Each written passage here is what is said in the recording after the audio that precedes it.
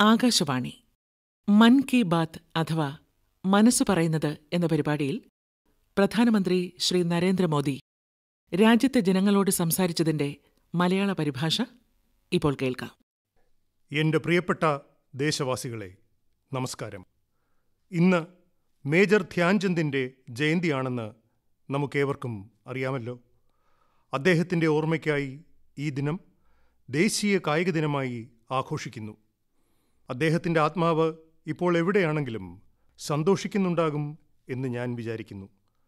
എന്തെന്നാൽ ലോകത്തിനു മുന്നിൽ ഇന്ത്യൻ ഹോക്കി വിളംബരം ചെയ്തത് ധ്യാൻചന്ദിന്റെ കാലത്തെ ഹോക്കിയായിരുന്നു ഏകദേശം നാൽപ്പത്തിയൊന്ന് വർഷങ്ങൾക്ക് ശേഷം ഇന്ത്യയുടെ ചെറുപ്പക്കാർ ഹോക്കിക്ക് വീണ്ടും പുതുജീവൻ നൽകി. വേറെ എത്രയൊക്കെ മെഡലുകൾ കിട്ടിയാലും ഹോക്കിക്ക് മെഡൽ കിട്ടിയില്ലെങ്കിൽ നമുക്ക് വിജയത്തിന്റെ ആനന്ദം ലഭിക്കില്ല. ഇത്തവണ ഒളിമ്പിക്സിൽ നാല് ദശകങ്ങൾക്ക് ശേഷം ഹോക്കിക്ക് മെഡൽ ലഭിച്ചു. മേജർ ധ്യാൻചന്ദിന്റെ ആത്മാവിന് എത്ര സന്തോഷം തോന്നിയിട്ടുണ്ടാകും എന്ന് നമുക്ക് സങ്കല്പിക്കാവുന്നതേയുള്ളൂ കാരണം അദ്ദേഹത്തിന്റെ ജീവിതം തന്നെ കളിക്ക് സമർപ്പിക്കപ്പെട്ടതായിരുന്നു. ഇന്ന് നമ്മുടെ നാട്ടിലെ യുവാക്കൾക്ക് കളിയിൽ പ്രത്യേക താൽപ്പര്യം തോന്നുന്നുണ്ട്. കുട്ടികൾ കളികളിൽ മുന്നേറുന്നത് അവരുടെ മാതാപിതാക്കൾക്കും സന്തോഷം നൽകുന്നു. കളികളോട് തോന്നുന്ന ഈ ദൃഢമായ ആഗ്രഹം തന്നെയാണ് മേജർ ധ്യാൻചന്ദിന് നൽകാവുന്ന ഏറ്റവും നല്ല ആദരാഞ്ജലി എന്ന് ഞാൻ കരുതുന്നു. സുഹൃത്തുക്കളെ കളികളെക്കുറിച്ച് സംസാരിക്കുമ്പോൾ സ്വാഭാവികമായി നമ്മുടെ മുന്നിൽ യുവതലമുറ വരും. യുവതലമുറയെ ശ്രദ്ധയോടെ വീക്ഷിക്കുമ്പോൾ അവരിൽ വലിയ മാറ്റം കാണപ്പെടുന്നു. യുവാക്കളുടെ മനസ്സ് മാറിക്കഴിഞ്ഞു. ഇന്നത്തെ യുവ മനസ്സുകൾ തേഞ്ഞു മാഞ്ഞ പഴയ രീതികളിൽ നിന്ന് മാറി പുതിയതെന്തെങ്കിലും ചെയ്യുവാൻ ആഗ്രഹിക്കുന്നു. ഇന്നത്തെ യുവാക്കൾ പരമ്പരാഗത വഴികളിലൂടെ സഞ്ചരിക്കുവാൻ ആഗ്രഹിക്കുന്നില്ല. അവർ പുതിയ വഴികൾ ഉണ്ടാക്കുവാൻ ആഗ്രഹിക്കുന്നു. അറിയാത്ത വഴികളിൽ കാൽവയ്ക്കുവാൻ ആഗ്രഹിക്കുന്നു. ലക്ഷ്യസ്ഥാനവും പുതിയത് വഴിയും ആഗ്രഹവും പുതിയത്. ഇന്നത്തെ യുവാക്കൾ മനസ്സിൽ ഒന്ന് നിശ്ചയിച്ചാൽ പിന്നെ അഹോരാത്രം അതിനായി യത്നിക്കും. ഈ അടുത്ത കാലത്താണ് ഇന്ത്യ ബഹിരാകാശ രംഗത്ത് സജീവമായത്. വളരെ പെട്ടെന്ന് തന്നെ യുവതലമുറ ഇതിന്റെ സാധ്യതകൾ തിരിച്ചറിഞ്ഞു. ഈ അവസരം പ്രയോജനപ്പെടുത്തുവാൻ കോളേജ് സർവകലാശാല വിദ്യാർത്ഥികൾ സ്വകാര്യ മേഖലയിൽ ജോലി ചെയ്യുന്ന യുവാക്കൾ തുടങ്ങിയവർ മുന്നോട്ട് വന്നു. വരും ദിനങ്ങളിൽ നിർമ്മിക്കപ്പെടുന്ന ഉപഗ്രഹങ്ങളിൽ വലിയൊരളവ് നമ്മുടെ വിദ്യാർത്ഥികൾ യുവാക്കൾ ലാബിൽ ജോലി ചെയ്യുന്ന വിദ്യാർത്ഥികൾ തുടങ്ങിയവർ നിർമ്മിച്ചതാകുമെന്ന് എനിക്ക് നല്ല ഉറപ്പുണ്ട്. അതുപോലെ തന്നെ ഇപ്പോൾ എവിടെ നോക്കിയാലും ഏത് കുടുംബത്തിൽ ചെന്നാലും അവർ എത്ര സമ്പന്നരാണെങ്കിലും പഠിപ്പും വിവരവുമുള്ള കുടുംബമാണെങ്കിലും അവിടുത്തെ യുവാക്കളോട് ചോദിച്ചാൽ ഞങ്ങൾ പാരമ്പര്യങ്ങളിൽ നിന്ന് വേറിട്ട് സ്റ്റാർട്ടപ്പ് തുടങ്ങും സ്റ്റാർട്ടപ്പിൽ ജോലി ചെയ്യും എന്ന് പറയും. അതായത് അവരുടെ മനസ്സ് വെല്ലുവിളി ഏറ്റെടുക്കുവാൻ തയ്യാറാവുകയാണ്.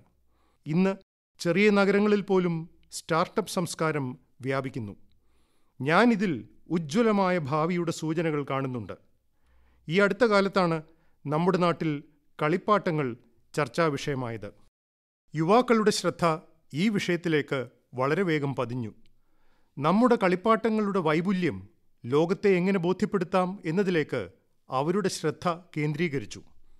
ലോകത്ത് കളിപ്പാട്ടങ്ങളുടെ വിപണി വളരെ വലുതാണ്. ആറ് ഏഴ് ലക്ഷം കോടിയുടെ വിപണിയാണ്. ഇതിൽ ഇന്ന് ഇന്ത്യയുടെ പങ്ക് വളരെ ചെറുതാണ്. കളിപ്പാട്ടങ്ങൾ എങ്ങനെ ഉണ്ടാക്കണം?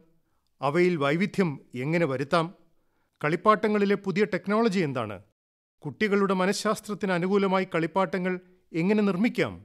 തുടങ്ങിയവയിലേക്ക് യുവാക്കളുടെ ശ്രദ്ധ പതിഞ്ഞിട്ടുണ്ട്. ഈ മേഖലയിൽ അവരുടേതായ സംഭാവന നൽകുവാൻ അവർ ആഗ്രഹിക്കുന്നു. സുഹൃത്തുക്കളെ മനസ്സിൽ സന്തോഷം നിറയ്ക്കുന്ന വിശ്വാസത്തെ ദൃഢമാക്കുന്ന മറ്റൊരു കാര്യം കൂടിയുണ്ട്. നിങ്ങളും ഇത് ശ്രദ്ധിച്ചു കാണും. സാധാരണയായി എന്തെങ്കിലും ചെയ്യുമ്പോൾ ഇതൊക്കെ മതി എന്നുള്ള ചിന്തയായിരുന്നു നമ്മുടേത്. എന്നാൽ ഇന്നത്തെ യുവാക്കൾ ഏറ്റവും ശ്രേഷ്ഠമായതിലേക്കാണ് ശ്രദ്ധ കേന്ദ്രീകരിക്കുന്നത്. ഉത്തമമായത് ഉത്തമമായ രീതിയിൽ ചെയ്യുവാൻ ആഗ്രഹിക്കുന്നു. ഇത് നമ്മുടെ രാഷ്ട്രത്തിന്റെ വളരെ വലിയ ശക്തിയായി ഉയർന്നു വരും. സുഹൃത്തുക്കളെ ഇത്തവണ ഒളിമ്പിക്സ് വളരെ വലിയ സ്വാധീനം ചെലുത്തിയിട്ടുണ്ട്. ഒളിമ്പിക്സ് കഴിഞ്ഞു ഇപ്പോൾ പാരലിമ്പിക്സ് നടക്കുന്നു. ലോകരാജ്യങ്ങളുമായി താരതമ്യം ചെയ്യുമ്പോൾ ഒളിമ്പിക്സിൽ നമ്മുടെ നേട്ടം ചെറുതാണെങ്കിലും ആളുകളുടെ മനസ്സിൽ വിശ്വാസം ജനിപ്പിക്കുവാൻ അവയ്ക്കായിട്ടുണ്ട്. ഇന്ന് യുവാക്കൾ സ്പോർട്സിനെ ലാഘവത്തോടെയല്ല കാണുന്നത്. സ്പോർട്സുമായി ബന്ധപ്പെട്ട സാധ്യതകൾ എന്തൊക്കെയാണെന്ന് അവർ നോക്കുന്നു. കായിക മേഖലയെ അവർ സസൂക്ഷ്മം വീക്ഷിക്കുന്നു. അതിന്റെ സാധ്യതകൾ മനസ്സിലാക്കുന്നു. ഏതെങ്കിലും രീതിയിൽ അവയുമായി സ്വയം ബന്ധപ്പെടുത്തുവാൻ നോക്കുന്നു. ഇപ്പോൾ അവർ പരമ്പരാഗത ഇനങ്ങൾക്കപ്പുറം പുതിയ ഇനങ്ങൾ സ്വീകരിക്കുന്നു. എന്റെ ദേശവാസികളെ സ്പോർട്സ് രംഗത്ത് ഇത്രയും മുന്നേറ്റമുണ്ടാകുമ്പോൾ ഓരോ കുടുംബത്തിലും കളിയുടെ ചർച്ച ആരംഭിച്ചിട്ടുണ്ട്. ഈ മുന്നേറ്റം വേഗത തടയപ്പെടണമോ നിന്നു പോകണമോ എന്ന് നിങ്ങൾ തന്നെ പറയൂ. ഒരിക്കലും പാടില്ല. നിങ്ങളും എന്നെപ്പോലെ തന്നെ ചിന്തിക്കുന്നുണ്ടാകും. നമ്മുടെ നാട്ടിൽ സ്പോർട്സ് സ്പോർട്സ്മാൻ സ്പിരിറ്റ് നിന്നു പോകാൻ പാടില്ല. കുടുംബജീവിതത്തിൽ സാമൂഹിക ജീവിതത്തിൽ രാഷ്ട്രീയ ജീവിതത്തിൽ ഈ മുന്നേറ്റത്തെ സ്ഥായിയാക്കേണ്ടതാണ്. ഈ മുന്നേറ്റം നിരന്തരം ഊർജം പകരേണ്ടതാണ്. വീട്ടിലാകട്ടെ സമൂഹത്തിലാകട്ടെ ഗ്രാമത്തിലാകട്ടെ നഗരത്തിലാകട്ടെ നമ്മുടെ കളിസ്ഥലങ്ങൾ നിറഞ്ഞു കവിയണം. എല്ലാവരും കളിക്കട്ടെ എല്ലാവരും വിടരട്ടെ. നിങ്ങൾക്ക് ഓർമ്മ കാണുമല്ലോ അല്ലേ? ഞാൻ ചെങ്കോട്ടയിൽ നിന്ന് പറഞ്ഞല്ലോ എല്ലാവരുടെയും പ്രയത്നം. അതെ എല്ലാവരുടെയും പ്രയത്നമുണ്ടെങ്കിലേ കളിയുടെ മേഖലയിൽ ഇന്ത്യ തങ്ങൾക്ക് അർഹമായ ഉയരത്തിലേക്ക് എത്തുകയുള്ളൂ. മേജർ ധ്യാൻചന്ദിനെ പോലെയുള്ളവർ കാട്ടിയ വഴിയെ മുന്നോട്ടു പോവുക എന്നുള്ളത് നമ്മുടെ ഉത്തരവാദിത്തമാണ്. കുടുംബത്തിലാകട്ടെ സമൂഹത്തിലാകട്ടെ നാട്ടിലോ രാജ്യത്തോ ആകട്ടെ ഏകമനസ്സോടെ കളികളോട് എല്ലാവരും ചേരുന്നു. വളരെ വർഷങ്ങൾക്ക് ശേഷമാണ് നമ്മുടെ രാജ്യത്ത് ഇങ്ങനെയൊരു കാലഘട്ടം വരുന്നത്. എന്റെ പ്രിയപ്പെട്ട യുവാക്കളെ ഈ അവസരം പ്രയോജനപ്പെടുത്തി വിവിധ കായിക ഇനങ്ങളിൽ നമുക്ക് മികവുറ്റവർ ആകേണ്ടതുണ്ട്. ഗ്രാമങ്ങൾ തോറും കുട്ടികളുടെ മത്സരങ്ങൾ നിരന്തരം നടക്കേണ്ടതാണ്. മത്സരങ്ങളിലൂടെ മാത്രമേ കളികൾ വികസിക്കുകയുള്ളൂ നല്ല കളിക്കാർ ഉണ്ടാവുകയുള്ളൂ. ഈ മുന്നേറ്റത്തിൽ നമ്മുടേതായ സംഭാവനകൾ നമുക്ക് എത്ര നൽകാൻ കഴിയും? ഈ ആവേഗം എത്ര മുന്നോട്ട് കൊണ്ടുപോകുവാൻ കഴിയും എന്ന് എല്ലാവരുടെയും പ്രയത്നം എന്ന മന്ത്രം വഴി നമുക്ക് പ്രാവർത്തികമാക്കി കാണിക്കാം. എന്റെ പ്രിയപ്പെട്ട ദേശവാസികളെ നാളെ ജന്മാഷ്ടമി കൂടിയാണല്ലോ. ജന്മാഷ്ടമി അതായത് കൃഷ്ണന്റെ ജന്മോത്സവം. കുറുമ്പനായ കണ്ണൻ മുതൽ വിരാട് രൂപം ധരിക്കുന്ന കൃഷ്ണൻ വരെ. ശസ്ത്രപ്രയോഗത്തിൽ നിപുണനായവൻ മുതൽ ശാസ്ത്രവിദ്യയിൽ സമർത്ഥനായ കൃഷ്ണൻ വരെ ഭഗവാന്റെ എല്ലാ രൂപവും നമുക്ക് പരിചിതമാണ്. കലയിൽ സൗന്ദര്യത്തിൽ മാധുര്യത്തിൽ എല്ലായിടത്തും കൃഷ്ണൻ ഉണ്ട്. കുറച്ച് ദിവസങ്ങൾക്ക് മുൻപ് എനിക്ക് രസകരമായ ഒരു അനുഭവമുണ്ടായി. അത് നിങ്ങളുമായി പങ്കുവയ്ക്കണം എന്നുള്ളതുകൊണ്ടാണ് ഞാൻ ഇതൊക്കെ പറയുന്നത്. സോമനാഥ ക്ഷേത്രവുമായി ബന്ധപ്പെട്ട നിർമ്മാണ ജോലിയുടെ ഉദ്ഘാടനം ഈ മാസം ഇരുപതാം തീയതി നടത്തിയത് നിങ്ങൾക്ക് ഓർമ്മ കാണുമല്ലോ. സോമനാഥ ക്ഷേത്രത്തിൽ നിന്നും മൂന്ന് നാല് കിലോമീറ്റർ അകലെയാണ് ഭാൽക്ക തീർത്ഥം. ഭഗവാൻ ശ്രീകൃഷ്ണൻ ഭൂമിയിലെ തന്റെ അവസാന നിമിഷങ്ങൾ ചിലവിട്ട സ്ഥലമാണ് ഭാൽക്ക തീർത്ഥം എന്നറിയപ്പെടുന്നത്. ഒരു തരത്തിൽ പറഞ്ഞാൽ ഈ ലോകത്തിൽ അദ്ദേഹത്തിന്റെ ലീലകളുടെ സമാപനം അവിടെയായിരുന്നു. സോമനാഥ് ട്രസ്റ്റിന്റെ വകയായി ആ പ്രദേശത്താകെ പലതരം വികസന പ്രവർത്തനങ്ങൾ നടന്നുവരുന്നു ഭാൽക്കാതീർത്ഥത്തെയും അവിടെ നടക്കുന്ന കാര്യങ്ങളെയും കുറിച്ച് ചിന്തിച്ചു കൊണ്ടിരുന്നപ്പോൾ എന്റെ നോട്ടം സുന്ദരമായ ഒരു ആർട്ട് ബുക്കിൽ പതിഞ്ഞു. ഈ പുസ്തകം എന്റെ താമസസ്ഥലത്തിന് പുറത്തായി എനിക്ക് വേണ്ടി ആരോ വെച്ചുപോയതാണ്. അതിൽ ഭഗവാൻ ശ്രീകൃഷ്ണന്റെ പല രൂപങ്ങൾ പല സുന്ദര ചിത്രങ്ങൾ ഉണ്ടായിരുന്നു.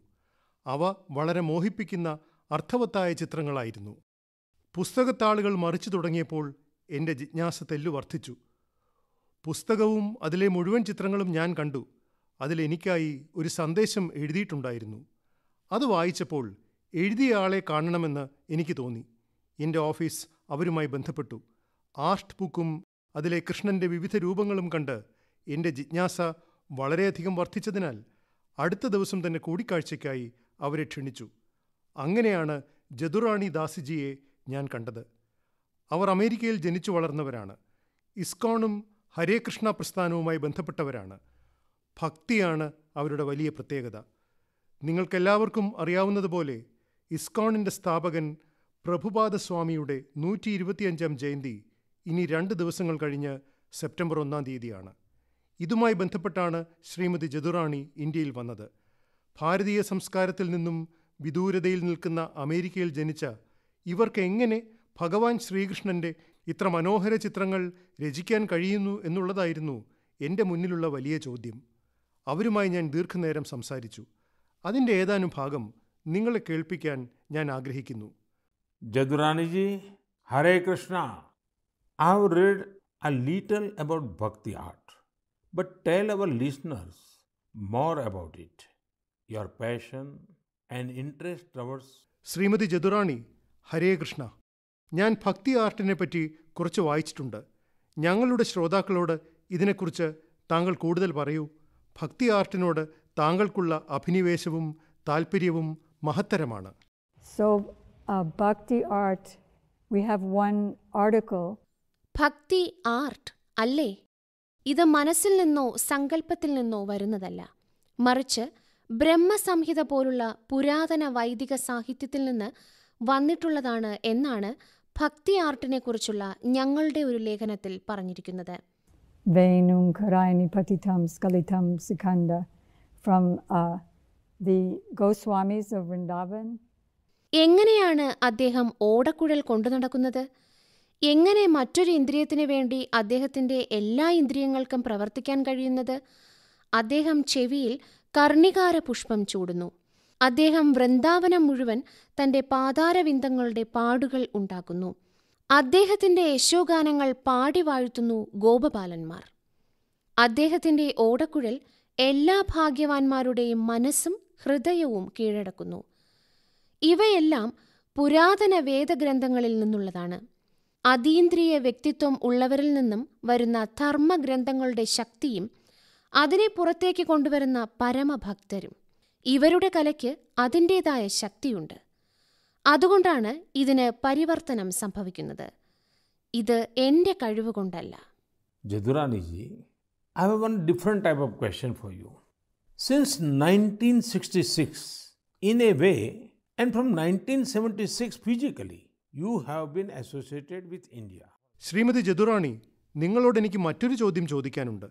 ഒരു വിധത്തിൽ ആയിരത്തി തൊള്ളായിരത്തി അറുപത്തിയാറ് മുതൽ മാനസികമായും ഭൗതികമായി ആയിരത്തി തൊള്ളായിരത്തി എഴുപത്തിയാറ് മുതലും ദീർഘകാലമായി നിങ്ങൾക്ക് ഇന്ത്യയുമായി ബന്ധമുണ്ട്.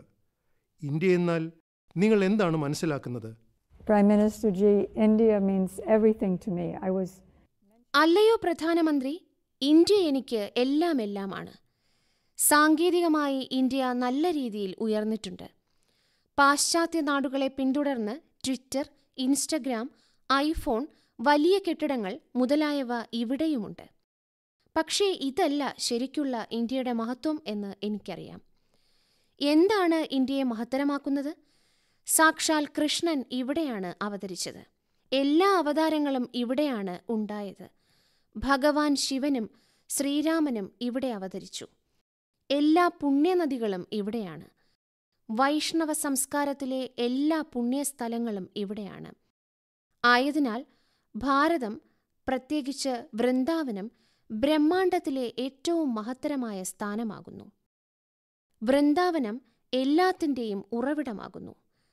സമസ്ത ഭൗതിക സൃഷ്ടിയുടെയും ഉറവിടമാകുന്നു. അതുകൊണ്ട് ഞാൻ ഇന്ത്യയെ സ്നേഹിക്കുന്നു. The source of Dwarka, the source of the whole material creation. So I love India. Thank you, Jadurani ji. Hare Krishna. നന്ദി ശ്രീമതി ജദുറാണി ഹരേ കൃഷ്ണ സുഹൃത്തുക്കളെ ലോകത്തിൽ ആളുകളെല്ലാം ഭാരതീയ ആധ്യാത്മികത തത്വചിന്ത ഇവയെക്കുറിച്ച് ഇത്രയധികം ചിന്തിക്കുമ്പോൾ നമ്മുടെ ഈ മഹത്തായ പാരമ്പര്യത്തെ മുന്നോട്ട് കൊണ്ടുപോകേണ്ടത് നമ്മുടെ ഉത്തരവാദിത്തമാണ് കാലം പുറന്തള്ളുന്നതിനെ നമ്മൾ ഉപേക്ഷിക്കണം എന്നാൽ കാലാതിവർത്തിയായതിനെ മുന്നോട്ട് കൊണ്ടുപോവുകയും വേണം. നമുക്ക് നമ്മുടെ ഉത്സവങ്ങൾ ആഘോഷിക്കാം. അതിന്റെ ശാസ്ത്രീയത മനസ്സിലാക്കാം. അതിന്റെ പിന്നിലെ അർത്ഥം ഗ്രഹിക്കാം. ഓരോ ഉത്സവത്തിലും എന്തെങ്കിലും സന്ദേശമുണ്ടാകും. എന്തെങ്കിലും സംസ്കാരമുണ്ടാകും. അത് നാം മനസ്സിലാക്കണം. ജീവിതത്തിൽ പകർത്തണം. വരും തലമുറയുടെ പൈതൃക സ്വത്തായി അതിനെ മുന്നോട്ട് കൊണ്ടുപോകണം. ഞാൻ ഒരിക്കൽ കൂടി എന്റെ എല്ലാ ദേശവാസികൾക്കും ജന്മാഷ്ടമിയുടെ ശുഭാശംസകൾ നേരുന്നു. എന്റെ പ്രിയപ്പെട്ട ദേശവാസികളെ ഈ കൊറോണ കാലഘട്ടത്തിൽ ശുചിത്വത്തിന്റെ കാര്യത്തിൽ എനിക്ക് പറയാനുള്ളതെല്ലാം പറഞ്ഞു തീർന്നിട്ടില്ല എന്ന് തോന്നുന്നു. ശുചിത്വത്തിൽ നിന്ന് നമ്മൾ തെല്ലിട പോലും പിന്മാറരുത്. രാഷ്ട്രനിർമ്മാണത്തിൽ എല്ലാവരുടെയും പ്രയത്നം എങ്ങനെ എല്ലാവരുടെയും വികസനമാകുന്നു എന്നതിന്റെ ഉദാഹരണം നമുക്ക് പ്രേരണ നൽകുന്നു. മാത്രമല്ല എന്തെങ്കിലും ചെയ്യുവാനുള്ള പുതിയ ഊർജം പ്രദാനം ചെയ്യുന്നു. പുതിയ വിശ്വാസം നമ്മിൽ നിറയ്ക്കുന്നു. നമ്മുടെ പ്രതിജ്ഞയ്ക്ക് ജീവൻ കൊടുക്കുന്നു. ശുചിത്വ ഭാരത യജ്ഞത്തിന്റെ കാര്യം വരുമ്പോഴൊക്കെ ഇൻഡോറിലെ കാര്യം നമ്മുടെ മുന്നിൽ വരുന്നു എന്നുള്ളത് നമുക്ക് നന്നായി അറിയാവുന്നൊരു കാര്യമാണ്.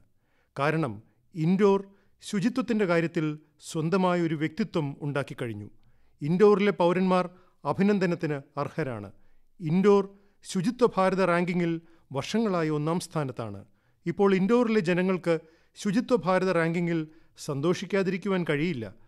അവർ മുന്നേറാൻ ആഗ്രഹിക്കുന്നു പുതിയതായി എന്തെങ്കിലും ചെയ്യുവാൻ ആഗ്രഹിക്കുന്നു. അവർ മനസ്സിൽ എന്താണ് ഉറച്ചു തീരുമാനിച്ചിരിക്കുന്നത്?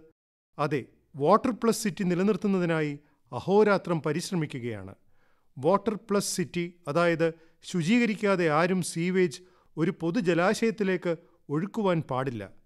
ഇവിടുത്തെ പൗരന്മാർ സ്വയം മുന്നോട്ട് വന്ന് അവരവരുടെ പൈപ്പുകൾ സീവർ ലൈനുമായി ഘടിപ്പിച്ചു. ശുചിത്വ യജ്ഞവും നടത്തി.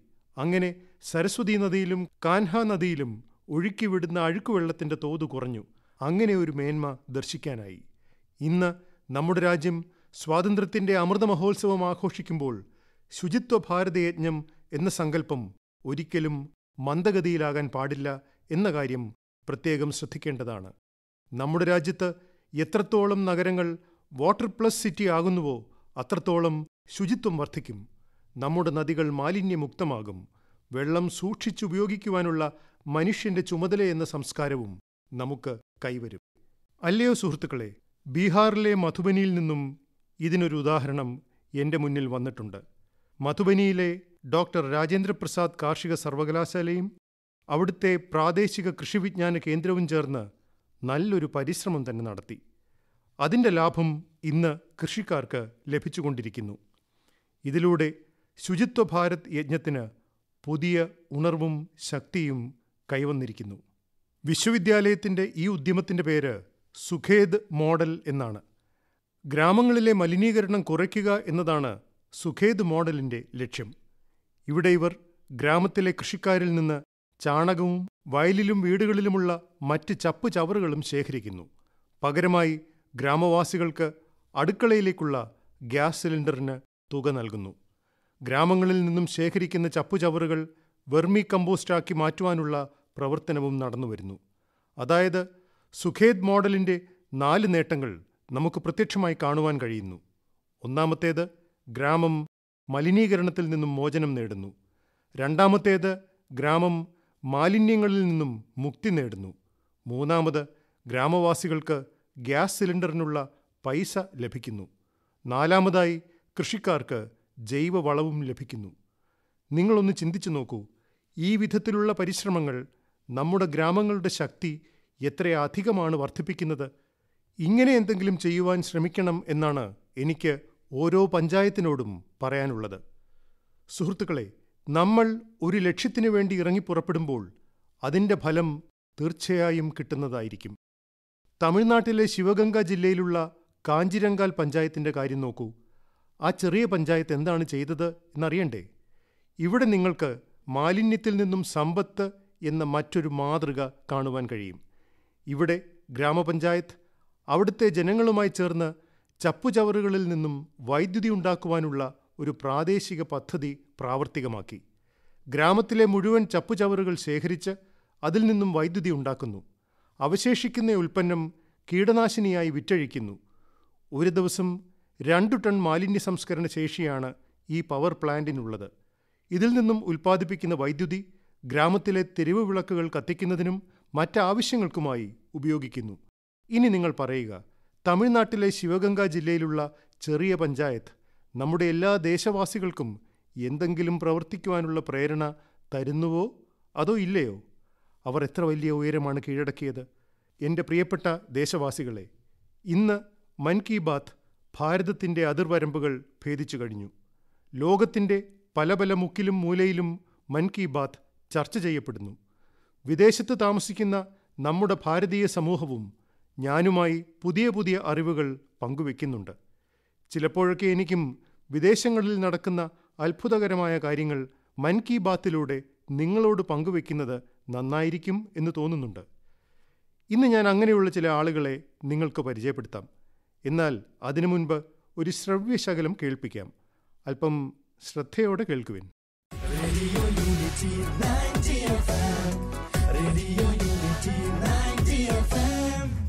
नमो नमः सर्वेभ्यः मम नाम गङ्गा भवन्तु शृण्वन्तु रेडियो यूनिटी नवति एफ् एम् एक भारत श्रेष्ठ भारत अहम् एकतामूर्तेयाः मार्गदर्शिका एवं रेडियो यूनिटी माध्यमे आर् जे अस्मि अद्य संस्कृतदिनम् अस्ति સર્વેભ્ય બહવ શુભકામનાએ અસ્તે સરદાર વલ્લભભાઈ પટેલ મહોદયશ્ય લોહપુરુષ ઇતિ ઉચ્યતે ત્રયોદશા વિંશતિ સહસ્રતમે વર્ષે લોહસંગ્રહસ્ય અભિયાનમ પ્રારબ્ધમ ચતુર્ત્રિંશત અધિક શતમ ટન પરિમિતમ લોહસ્ય ગલનમ કૃતમ ઝારખંડસ્ય એક કૃષક મૃદગરસ્ય દાનમ કૃતવાન ભવંતુ શૃણવંતુ રેડિયો યુનિટી નવતી એફએમ एक भारत श्रेष्ठ भारत।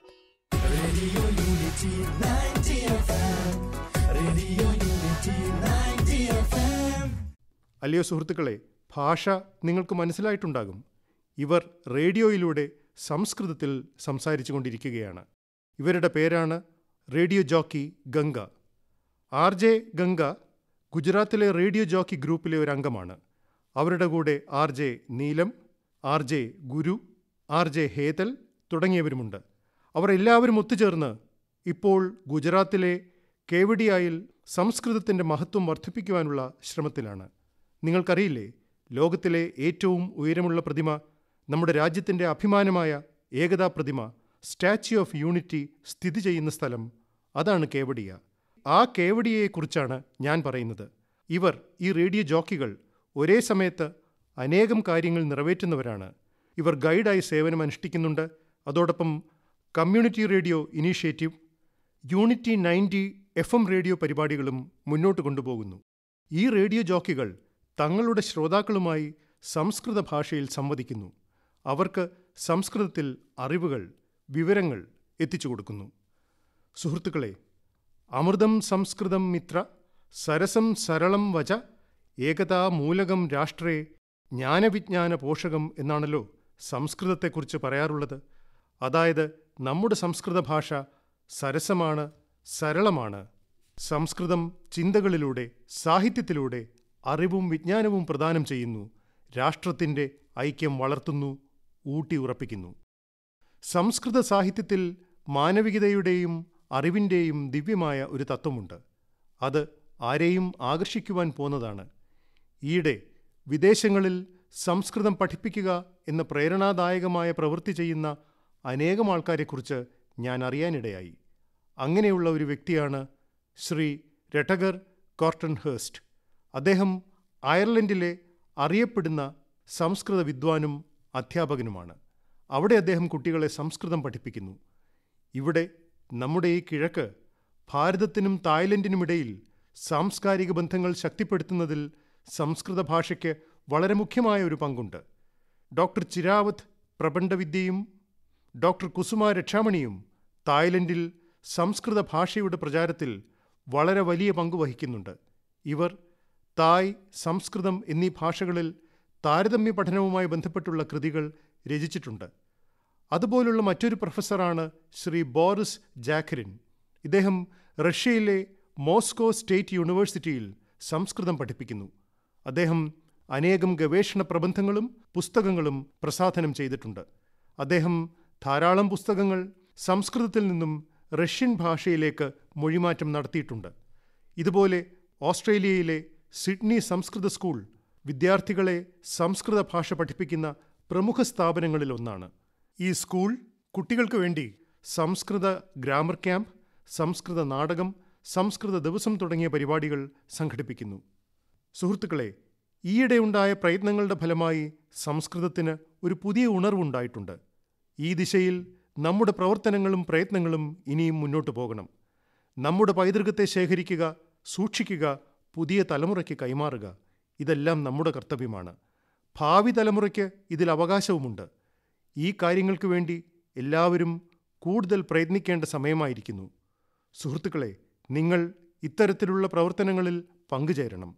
ഇങ്ങനെയുള്ള ഏതെങ്കിലും വ്യക്തിയെക്കുറിച്ച് അറിയുകയാണെങ്കിൽ ഇങ്ങനെയുള്ള ഏതെങ്കിലും വിവരങ്ങൾ നിങ്ങളുടെ കൈവശമുണ്ടെങ്കിൽ ദയവ് ചെയ്ത് ഹാഷ്ടാഗ് സെലിബ്രേറ്റിംഗ് സാൻസ്ക്രിറ്റുമായി സോഷ്യൽ മീഡിയയിൽ തീർച്ചയായും പങ്കുവെക്കണം.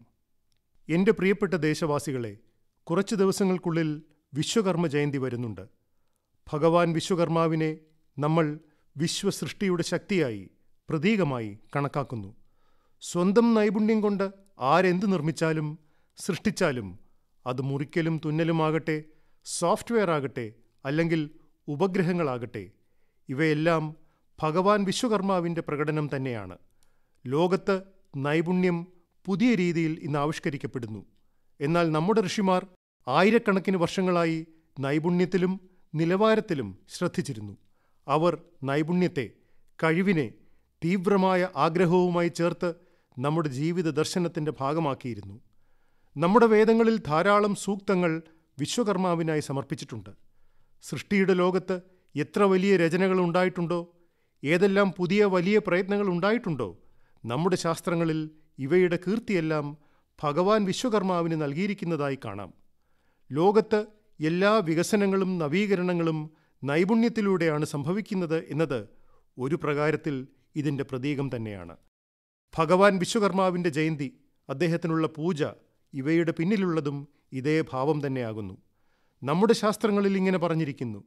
വിശ്വസ്യ കൃതേ യസ്യ കർമ്മവ്യാപാര സ വിശ്വകർമ്മ. അതായത് സൃഷ്ടിയും നിർമ്മാണവുമായി ബന്ധപ്പെട്ട് കർമ്മങ്ങൾ ചെയ്യുന്നവൻ വിശ്വകർമാവ്. നമ്മുടെ ചുറ്റും നിർമ്മാണത്തിലും സൃഷ്ടിയിലും ഏർപ്പെട്ടിരിക്കുന്ന നൈപുണ്യമുള്ള കഴിവുള്ള ആൾക്കാർ എല്ലാം നമ്മുടെ ശാസ്ത്രത്തിന്റെ കണ്ണിലൂടെ നോക്കിയാൽ ഭഗവാൻ വിശ്വകർമാവിന്റെ പൈതൃകം പേറുന്നവരാകുന്നു. ഇവരെ കൂടാതെ നമുക്ക് നമ്മുടെ ജീവിതത്തെക്കുറിച്ച് സങ്കല്പിക്കുവാൻ പോലും കഴിയില്ല. നിങ്ങളൊന്ന് ചിന്തിച്ചു നോക്കൂ. നിങ്ങളുടെ വീട്ടിൽ വൈദ്യുതി പ്രശ്നം വന്നു എന്നിരിക്കട്ടെ. നിങ്ങൾക്ക് ഇലക്ട്രീഷ്യനെ കിട്ടിയില്ലെങ്കിൽ എന്താകും സ്ഥിതി? നിങ്ങൾക്ക് എത്ര വലിയ ബുദ്ധിമുട്ടാകും ഉണ്ടാവുക? നമ്മുടെ ജീവിതം ഇങ്ങനെയുള്ള അനേകം തൊഴിൽ നൈപുണ്യം ഉള്ളവരുടെ സഹായം കൊണ്ടാണ് മുന്നോട്ട് പോകുന്നത്. നിങ്ങൾക്ക് ചുറ്റുമൊന്ന് കണ്ണോടിച്ചു നോക്കൂ. കൊല്ലപ്പണി ചെയ്യുന്നവരുണ്ട് മൺപാത്രം ഉണ്ടാക്കുന്നവരുണ്ട് മരപ്പണിക്കാരുണ്ട് ഇലക്ട്രീഷ്യന്മാരുണ്ട് ശുചീകരണ ജോലിക്കാരുണ്ട്. അല്ലെങ്കിൽ മൊബൈൽ ലാപ്ടോപ്പ് റിപ്പയർ ചെയ്യുന്നവരുണ്ട്.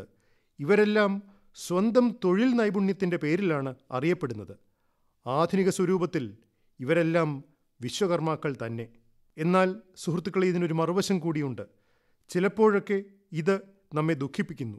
സംസ്കാരത്തിൽ പാരമ്പര്യത്തിൽ ചിന്തകളിൽ കഴിവിൽ ഒക്കെ നൈപുണ്യമുള്ള മനുഷ്യന്റെ ശക്തിയെ ഭഗവാൻ വിശ്വകർമാവുമായി ബന്ധപ്പെടുത്തിയിട്ടുള്ള രാജ്യത്ത് അവസ്ഥകൾ എങ്ങനെ മാറി? ഒരു കാലത്ത് നമ്മുടെ കുടുംബജീവിതത്തിലും സാമൂഹ്യ ജീവിതത്തിലും ദേശീയ ജീവിതത്തിലും നൈപുണ്യത്തിന് വളരെ വലിയ സ്വാധീനമുണ്ടായിരുന്നു. എന്നാൽ അടിമത്തത്തിന്റെ നീണ്ട കാലയളവിൽ കഴിവിനെ ഇതുപോലെ ആദരിക്കുന്ന രീതി പതുക്കെ പതുക്കെ വിസ്മൃതിയിലേക്ക് പോയി. കഴിവിനെ ആധാരമാക്കിയുള്ള ജോലികളെ ചെറുതാക്കി കാണുവാനുള്ള ചിന്തകളുണ്ടായി. ഇപ്പോൾ നോക്കൂ ലോകം മുഴുവൻ കഴിവുകൾക്ക് അതായത് നൈപുണ്യത്തിന് കൂടുതൽ പ്രാധാന്യം കൊടുക്കുന്നു. ഭഗവാൻ വിശ്വകർമാവിന്റെ പൂജയും ഇന്ന് വെറും ഔപചാരികതയുടെ പേരിലല്ല പൂർണമാകുന്നത്. നമ്മൾ വൈദഗ്ധ്യത്തെ ആദരിക്കണം. വിദഗ്ധരാകണമെങ്കിൽ പരിശ്രമിക്കണം. വൈദഗ്ധ്യത്തിൽ അഭിമാനിക്കണം. നമ്മൾ പുതിയതായി എന്തെങ്കിലും ചെയ്യണം. എന്തെങ്കിലും നവീകരിക്കണം. എന്തെങ്കിലും നിർമ്മിക്കണം. അത് സമൂഹത്തിന് പ്രയോജനമുള്ളതാകണം. ആളുകളുടെ ജീവിതം ലഘൂകരിക്കുന്നതാകണം. അപ്പോഴാണ് വിശ്വകർമാവിനുള്ള നമ്മുടെ പൂജ അർത്ഥവത്താകുന്നത്. ഇന്ന് ഈ ലോകത്ത് തൊഴിൽ നൈപുണ്യമുള്ള ആളുകൾക്ക് അവസരത്തിന് യാതൊരു കുറവുമില്ല. പുരോഗതിയുടെ എത്രയെത്ര വഴികളാണ് ഇന്ന് നൈപുണ്യത്തിലൂടെ തയ്യാറായിക്കൊണ്ടിരിക്കുന്നത്? അപ്പോൾ വരുവിൻ ഇപ്രാവശ്യം ഭഗവാൻ വിശ്വകർമാവിന്റെ പൂജയിൽ നമുക്ക് അത്യധികം ആഹ്ലാദത്തോടെ പങ്കെടുക്കാം. ഒപ്പം അദ്ദേഹത്തിന്റെ സന്ദേശങ്ങൾ സ്വായത്തമാക്കുവാനുള്ള പ്രതിജ്ഞയെടുക്കാം നമ്മൾ നൈപുണ്യത്തിന്റെ മഹത്വം മനസ്സിലാക്കും. തൊഴിൽ നൈപുണ്യമുള്ളവർ ഏത് തൊഴിൽ ചെയ്യുന്നവരായാലും അവരെ പൂർണമായും ആദരിക്കും ബഹുമാനിക്കും എന്നതായിരിക്കണം പൂജയിൽ നമ്മുടെ മനോഭാവം. എന്റെ പ്രിയപ്പെട്ട ദേശവാസികളെ ഇപ്പോൾ സ്വാതന്ത്ര്യത്തിന്റെ എഴുപത്തിയഞ്ചാം വർഷമാണ്. ഈ വർഷം നാം ഓരോ ദിവസവും പുതിയ പ്രതിജ്ഞയെടുക്കണം പുതിയത് ചിന്തിക്കണം എന്തെങ്കിലും പുതിയത് ചെയ്യുവാനുള്ള നമ്മുടെ അഭിനിവേശം വർദ്ധിപ്പിക്കണം. നമ്മുടെ ഭാരതം സ്വാതന്ത്ര്യത്തിന്റെ നൂറാം വർഷം പൂർത്തിയാക്കുമ്പോൾ നമ്മുടെ പ്രതിജ്ഞകൾ അതിന്റെ വിജയത്തിന്റെ അടിത്തറയിൽ ദൃശ്യമാകും. അതുകൊണ്ട് നാം ഈ അവസരം പാഴാക്കരുത്. ഇതിൽ നാം കൂടുതൽ കൂടുതൽ സംഭാവന ചെയ്യണം. ഈ പ്രയത്നങ്ങൾക്കിടയിലും ഒരു കാര്യം നമ്മൾ ഓർക്കണം. മരുന്നും വേണം ജാഗ്രതയും വേണം. രാജ്യത്ത് അറുപത്തിരണ്ട് കോടിയിൽ കൂടുതൽ വാക്സിൻ ഡോസ് നൽകിക്കഴിഞ്ഞു എന്നാലും ജാഗ്രത പുലർത്തണം. അതെ എപ്പോഴത്തെയും പോലെ നിങ്ങൾ പുതിയതായി എന്തെങ്കിലും ചെയ്യുമ്പോൾ പുതിയത് ചിന്തിക്കുമ്പോൾ എന്നെയും അതിൽ പങ്കാളിയാക്കുക. ഞാൻ നിങ്ങളുടെ കത്തുകളും സന്ദേശങ്ങളും പ്രതീക്ഷിക്കുന്നു. ഈ ആഗ്രഹത്തോടുകൂടി എല്ലാവർക്കും ഒരിക്കൽ കൂടി വരാൻ പോകുന്ന ഉത്സവങ്ങൾക്കായി കോടി കോടി ശുഭാശംസകൾ. ഒരായിരം നന്ദി. നമസ്കാരം. മൻ കി ബാത്ത് അഥവാ മനസ്സ് പറയുന്നത് എന്ന പരിപാടിയിൽ പ്രധാനമന്ത്രി ശ്രീ നരേന്ദ്രമോദി രാജ്യത്തെ ജനങ്ങളോട് സംസാരിച്ചതിന്റെ മലയാള പരിഭാഷയാണ് ഇതുവരെ കേട്ടത്.